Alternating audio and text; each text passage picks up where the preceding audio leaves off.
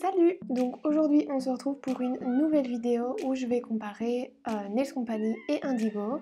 Tout simplement parce que c'est deux marques qui sont assez concurrentes, qui se ressemblent quand même sur certains points et tout simplement c'est des marques qu'on compare nous-mêmes assez souvent. Donc évidemment je n'ai pas euh, tous les produits de chaque marque. J'ai commencé un peu à travailler avec Indigo donc forcément j'ai plus de produits Indigo dans ma collection et euh, personnellement Indigo ça reste quand même ma marque préférée. Là où je me suis faite former, évidemment je me suis faite former chez Indigo, donc évidemment ça penche en la faveur d'Indigo dans mon avis. J'adore l'équipe, ma formatrice c'était génial, donc Christina si tu passes par ici, je te fais un petit bisou et je te remercie encore vraiment pour ce que tu m'as apporté. Mais donc tout ça pour dire que euh, je vais essayer d'être le plus objective possible dans cette vidéo parce que c'est le but et que vous êtes souvent euh, à me poser euh, comme question sur Instagram est-ce que Nails Company c'est aussi bien que Indigo Maintenant euh, j'ai une distributrice de Nails Company tout près de chez moi. Donc forcément si j'ai besoin d'un produit assez vite c'est plus un produit Nails Company que je vais prendre. Mais après je commande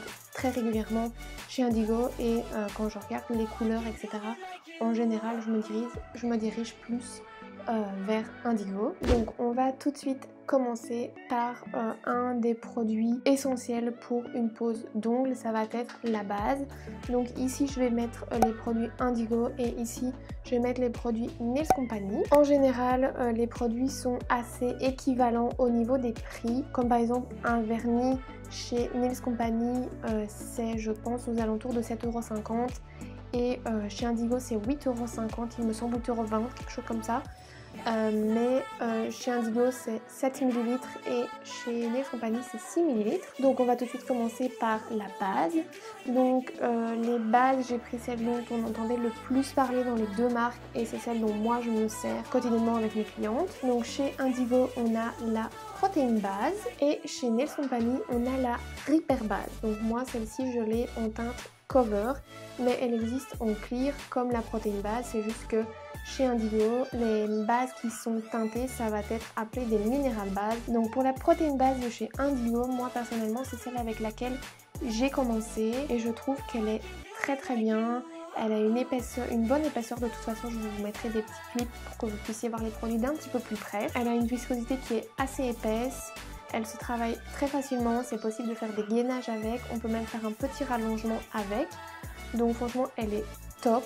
Euh, j'ai jamais eu de soucis avec. Ensuite pour la euh, base, euh, pareil, j'ai jamais eu de problème avec. Après je ne la teste pas depuis hyper longtemps, mais ça c'est un point qui va pencher en la faveur de Nails Company parce que la Repair base contient du primer et la protéine base de chez Indigo n'en contient pas. Mais qu'est-ce que ça change? C'est juste que, étant donné que la Repair base contient déjà du primer, vous n'allez pas devoir en mettre forcément dans la préparation de votre donc ça vous gagne euh, quelques secondes voire quelques minutes dans votre pause. Mais donc c'est un gain de temps et donc avec la Repair base j'ai moins de décollement. Avec la protéine base j'en ai jamais eu des énormes. J'ai peut-être eu des micro décollements mais après c'était peut-être de ma faute aussi.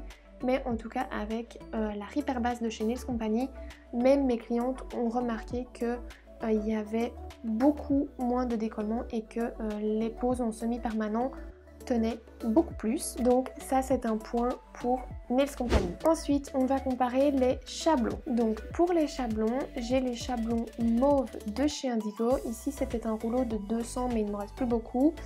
Et euh, chez Nails Company j'ai les noirs euh, où là c'était un rouleau de 500 donc je me suis quand même pas mal servi. Donc pour les chablons de chez euh, Nails Company, moi je les trouve un petit peu plus faciles, voire beaucoup plus faciles que euh, ceux de chez Indigo tout simplement parce qu'ils ils sont déjà pré-découpés et donc quand on n'est pas formé à faire une pose en gel tout simplement c'est beaucoup plus facile à placer correctement le chablon. Donc c'était des chablons que j'utilisais beaucoup avant ma formation et euh, je devais pas chipoter à devoir faire une découpe, il y avait déjà des lignes.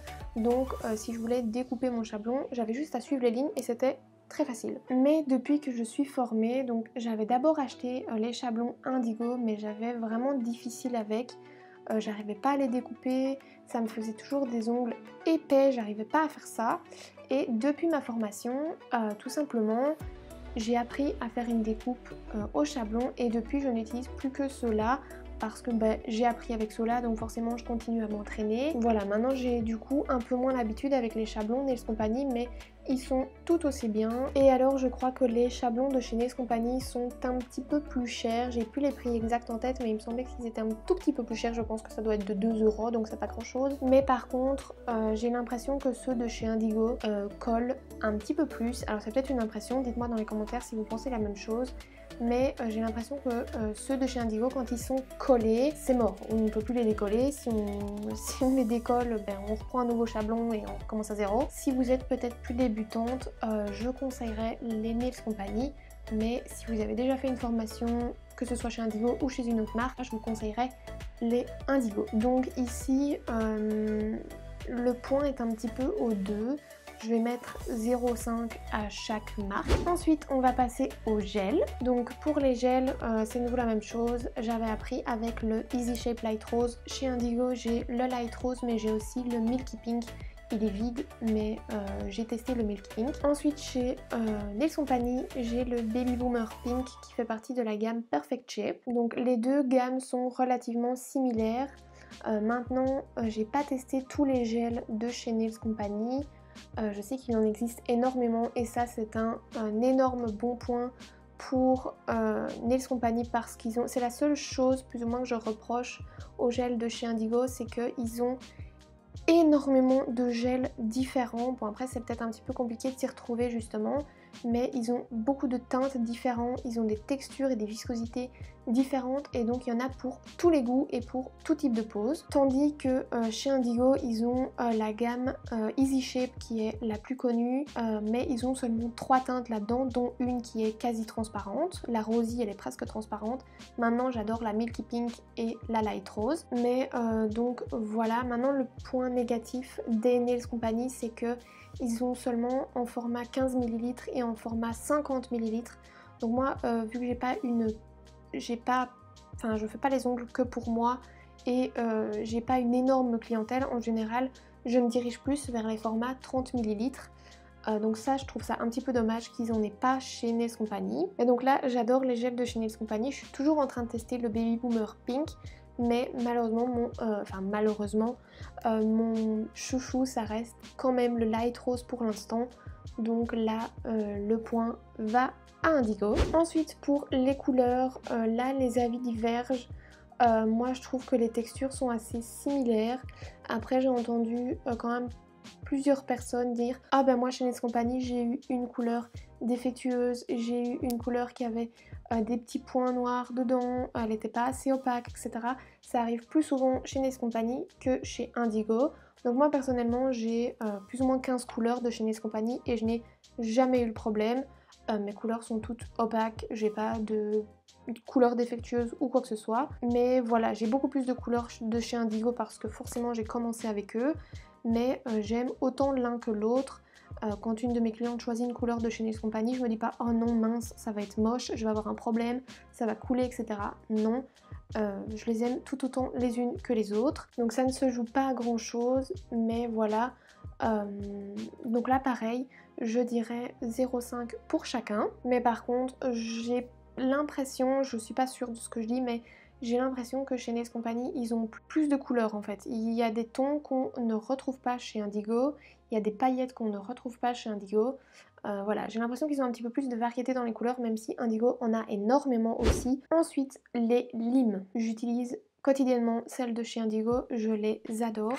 Donc moi j'utilise euh, celles-ci en forme de demi-lune et elles sont géniales. Je crois qu'elles sont à 50 centimes la lime et à chaque fois que je commande j'en reprends parce que je les adore. Je n'utilise que celle-là. Euh, j'en ai quelques-unes qui sont un peu plus douces mais j'utilise que celle-là. Et euh, chez Nails Company je n'en ai testé qu'une donc c'est celle-ci, celle en forme de couteau. Donc je la trouve juste trop bien. Malheureusement, elle coûte cher. Je crois que c'est 1,50€ la lime. Elle est hyper fine. Donc pour venir vraiment faire en dessous des ongles, euh, c'est un bonheur cette lime. Pour aller dans les petits coins qui sont un peu plus difficiles, c'est vraiment un bonheur. Mais euh, voilà, elles sont un petit peu chères malheureusement. Donc je pense que j'en rachèterai, mais forcément ça va pas être la ligne que je vais utiliser tous les jours. Donc évidemment, le point va chez Indigo. Et alors on va finir par les finitions. Donc les finitions chez Indigo, je n'ai pas testé la super matte. Euh, j'en ai entendu quand même pas mal d'avis négatifs. Euh, des personnes qui n'arrivent pas à avoir leur couleur bien mate, ça fait des, ça fait des traces, ça fait des lignes, euh, faut mettre une couche épaisse. Voilà, moi je ne l'ai jamais testé donc je ne fais que euh, dire ce que j'ai entendu. Donc chez Nails Company, j'ai la Soft Touch qui équivaut à la Super Matte, c'est tout simplement une finition matte.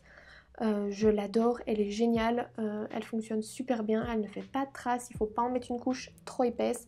Franchement, génial, j'en ai rien à dire, elle est top. Et enfin, dans les finitions brillantes, euh, j'ai la Tip Top de chez Indigo, donc pareil, c'est un des, des best-sellers de la marque, et franchement, je l'adore, j'en ai rien à dire.